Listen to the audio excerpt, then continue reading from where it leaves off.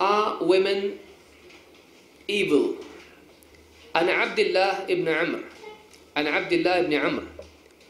One of the companions of Rasulullah sallallahu alaihi wasallam, Abdullah ibn Amr, he narrates, أن رسول الله صلى الله عليه وسلم قال The messenger of Allah, Muhammad Rasulullah صلى الله عليه وسلم said, الدنيا متاع وخير متاع الدنيا المرأة الصالحة at dunya mata, the whole world is provision. Mata, something which is necessary and required for the daily lives.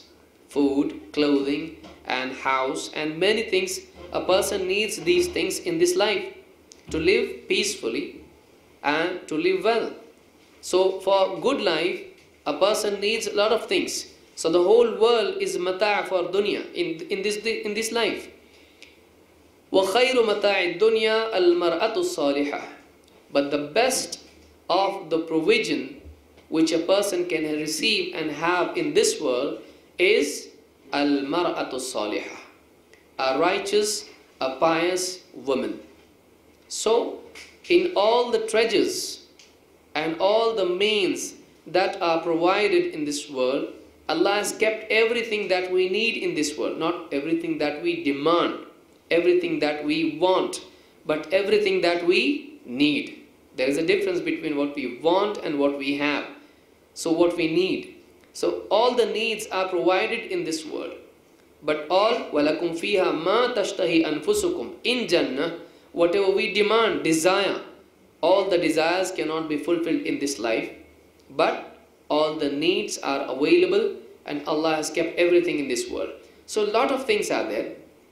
But amongst all these things, treasures and bounties and all the mata' which is provided to human beings in this world for a man, Rasulullah sallallahu alaihi wasallam says, وَخَيْرُ مَتَاعِ الدُّنْيَا الْمَرْأَةُ الصَّالِحَةُ Amongst all the bounties, among all the provided things, and the best provision that can be given to a person is al-mar'atu salihah.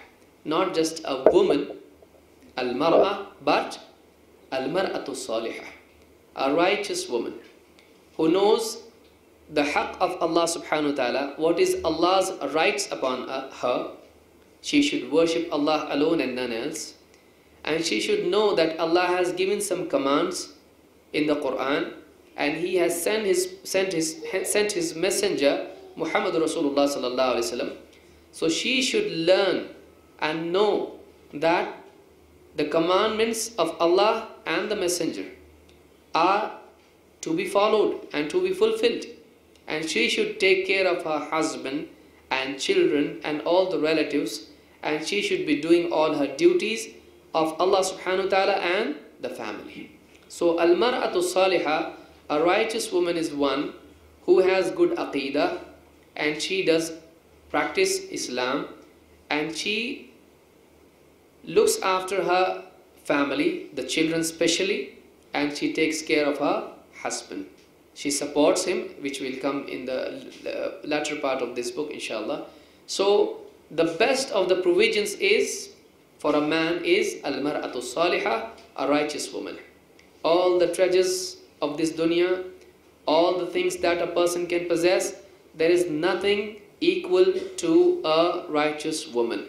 So, this is a very respectful statement for a woman.